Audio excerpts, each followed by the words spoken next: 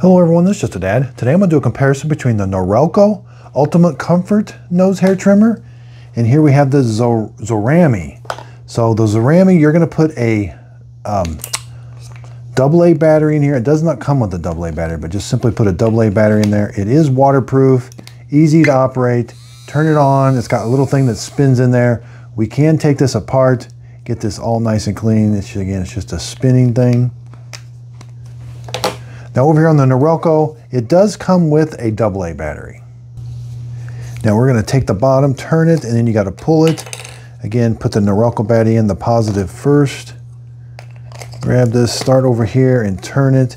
Now when I turn it on, it's ready to go. So we've got this like, this is like for, um, you can also do your nose, but this is for like ears and eyebrows. We can also take this one off, and this one has a spinning head also line up the arrows, start there and line it up again.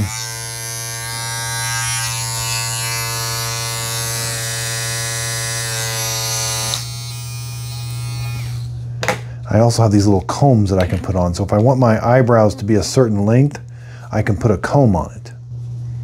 So you just slide it down. That way it leaves a little bit of length on the eyebrows. And then same with this one. This is a short one.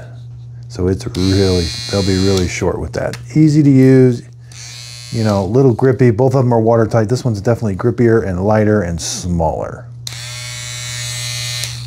So I hope this comparison video helps. Thanks everybody for watching.